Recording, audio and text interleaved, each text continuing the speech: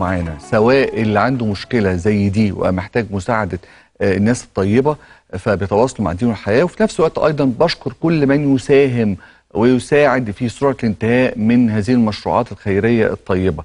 فبشكر الطرفين لأن إحنا في النهاية بنكون دايما ونحاول دايما نكون حلقة وصل ناجحة ما بين أهل الخير والناس اللي محتاجة الخير. شفنا سويا مجمع التوحيد وشفنا قد إيه مبنى ومشروع عظيم ما بين مسجد ما بين دار تحفيظ القرآن الكريم ما بين مستوصف طبي مركز لغسيل الكلى ما بين كمان حضانات الاطفال فتوفير مثل هذه الخدمات لأهالينا ده شيء مهم جدا بالذات لو كانوا في أماكن بعيدة شوية عن القاهرة والجيزة واسكندرية.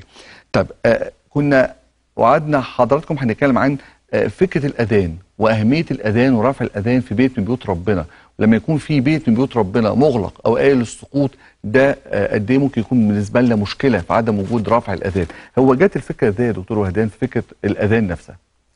شوف حضرتك يا دكتور أحمد الأذان هو الشعيرة الوحيدة في الإسلام التي فرضت برؤية ملامية. كل الأشياء فرضت عن طريق سيدنا جبريل عليه السلام ما عدا الصلاة فرضها الله مباشرة بين الحق سبحانه وتعالى ورسوله في رحلة الإسراء والمعراج.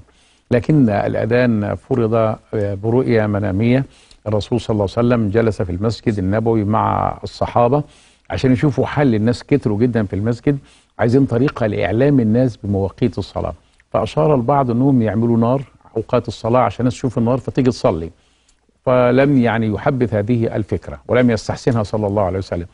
بعد شوية قالوا طب نجيب بوق وننفخ فيه أثناء وقت الصلاة فرفضها النبي صلى الله عليه وسلم وقال لهم عودوا إلى بيتكم لعل الله يجد لكم مخرجا. سيدنا عبد الله بن زيد ذهب إلى بيته ونام فرأى في المنام أن رجلا يرتدي ثوبا أخضر ومعه جرس. قال له من فضلك أعطيني هذا الجرس. قال له ما لماذا تحتاج هذا الجرس؟ قال له احتاجه لأعطيه لرسول الله ليعلن الناس بميعاد الصلاة. قال له أفلا أدلك على ما هو أفضل من ذلك؟ قال قل فقال له قل الله أكبر الله أكبر الله أكبر الله أكبر الاذان اللي إحنا عارفينه كله. فالراجل استبشر صحى من النوم وراح لرسول الله صلى الله عليه وسلم وقال له يا رسول الله رأيت في المنام كذا وكذا. فقال له النبي صلى الله عليه وسلم رؤيا خير إن شاء الله ولكن علمه بلالا ليؤذن فإنه أندى منك صوتا. فعلمه درس مهم جدا. واحد في احترام التخصص إحنا نحترم المتخصصين فاسألوا أهل الذكر إن كنتم لا تعلمون وقال له إن اللي شفته رؤيا خير إن شاء الله وكان الأذان هو الشعيرة الوحيدة في الإسلام التي فرضت برؤيا في المنام. طب آه، الدكتور وهدان السؤال الاخير ليك وإحنا بعد ما شفنا مجمع التوحيد والحلم الكبير اللي هو ما بين آه، المساهمة في آه، المساعدات الطبية هل يعد أيضا الإنفاق على علاج الفقراء والمساكين والمحرومين ومن أهالينا الناس الغلابة اللي ما بتقدرش تتكبد مشقة وتكلفة غسيل الكلى أو حضانات الأطفال. ده بقى بجانب المساهمة في المساجد ان إحنا بنتكلم عن مجمع فيه خدمات عديدة جدا. ده ثوابه إيه عند ربنا؟ والله هذا ثوابه عظيم جدا عند الله سبحانه وتعالى أن إنك أنت يعني تمسح دموع هؤلاء المرضى وهؤلاء المحتاجين. لما تفعل هذا العمل فقد أدخلت السرور على هؤلاء الناس. وإدخال السرور على الناس له ثواب عظيم عند الله سبحانه وتعالى. وأعظم حاجة في الدنيا أن تدخل السرور على المسلم. حاجة تانية مهمة جدا اللي بيعمل ده عندما آه، نعالج المرضى. عندما نشوف مثلا مرضى الفشل الكلوي ونعالجهم فإحنا بذلك ندخل عليهم الفرحة وندخل عليهم السرور ونخليهم في حالة سعادة وفي حالة فرحة.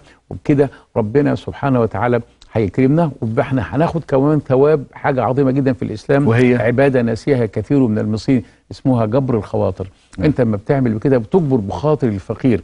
وإذا جبرت بخاطر الفقير يختفي يختفي الحقد الاجتماعي الموجود بين الأغنياء وبين الفقراء.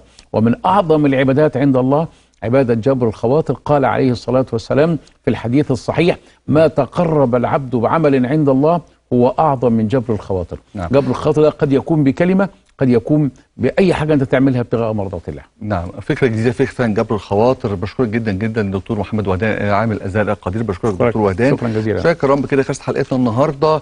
آه، بشكر حضراتكم جدا إن أنتوا دايما بتتواصلوا معانا. بنكون حلقة وصلة حقيقية ما بين أهل الخير والناس اللي عايزة تقدم الخير وما بين الناس اللي محتاج الخير لقاءنا بيكم بيكون ثلاث مرات اسبوعيا آه، جمعة وحد وثلاث من الخميس حتى الساعة السادسة مساء والإعادة بتكون سبت واثنين واربع في التاسعة صباحا.